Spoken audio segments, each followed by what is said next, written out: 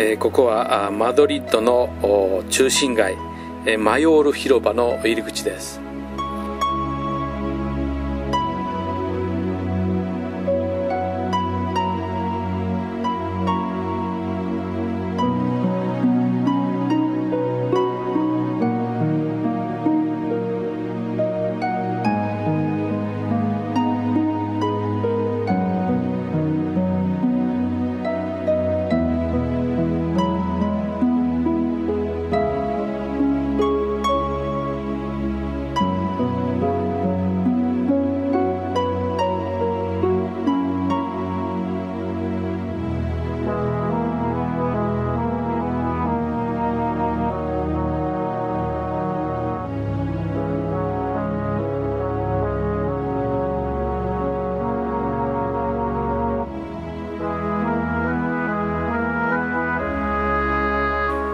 マヨール広場を出発して、えー、マドリッドの街を巡ってみます。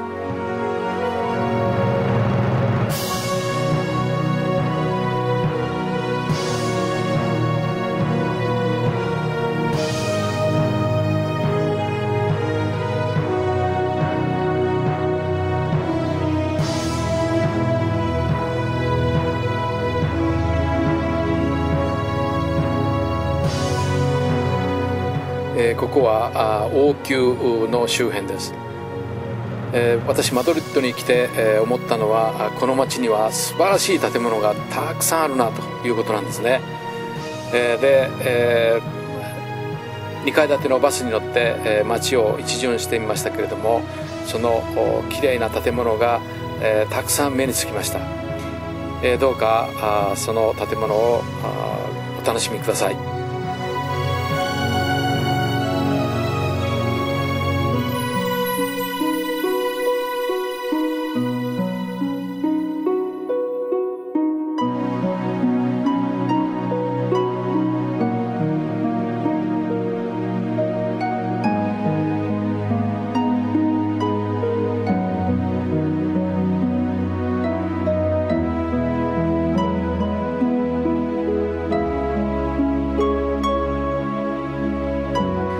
えー、ここはスペイン広場にある、えー、ドン・キホーテとサンチョ・パンサの像があるところです、